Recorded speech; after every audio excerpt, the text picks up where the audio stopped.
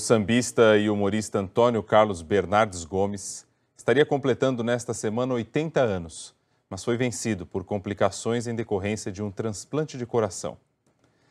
Mussum está na coluna de Nelson Mota.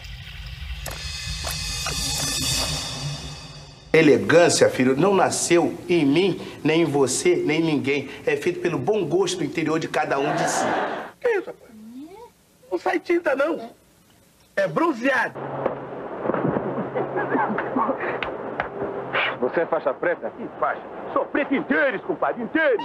90 brasileiros não come nem pão. Nem pão! Um dos primeiros artistas negros a se tornar um ídolo na televisão Mussum nasceu há 80 anos, começou no legendário grupo originário do samba e alegrou o Brasil com os Trapalhões, criando um personagem inesquecível. É Mussum Foreves. Quantas belezas deixadas nos cantos da vida. Filho de uma empregada doméstica, antes de virar Mussum, Antônio Carlos serviu oito anos na Força Aérea Brasileira. Mas claro que não deu muito certo. Quem entraria num avião pilotado pelo Mussum? Cacildes. Velho poeta que o mundo canta. Mas como cantava bem e tinha um swing danado, logo entrou para o grupo Os Originais do Samba, cantando e tocando reco-reco, e teve inúmeros sucessos, se tornou um dos grupos mais populares do Brasil. Ernesto nos convidou. Ele mora no praia. Assassinar o camarão. Assim começou a tragédia no fundo do mar. Tem gente do Rio, tua vida me dá arrepio. Mussum sempre foi engraçado naturalmente e rei da simpatia.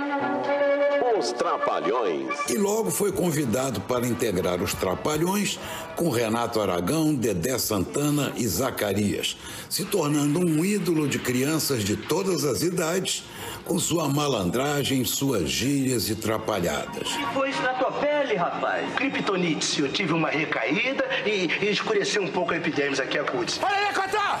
Sai mais uma bem gelada que essas aqui evaporou tudo, vagabundo. Ó. Você vai tomar leite. Leite? Prefiro o sem gelo. Oh, querida. Hoje o politicamente correto ia cair em cima do Mussum, que vivia falando do seu amor por bebidas alcoólicas, especialmente a cachaça, que ele chamava carinhosamente de mé, e todo mundo ria. Estamos aí.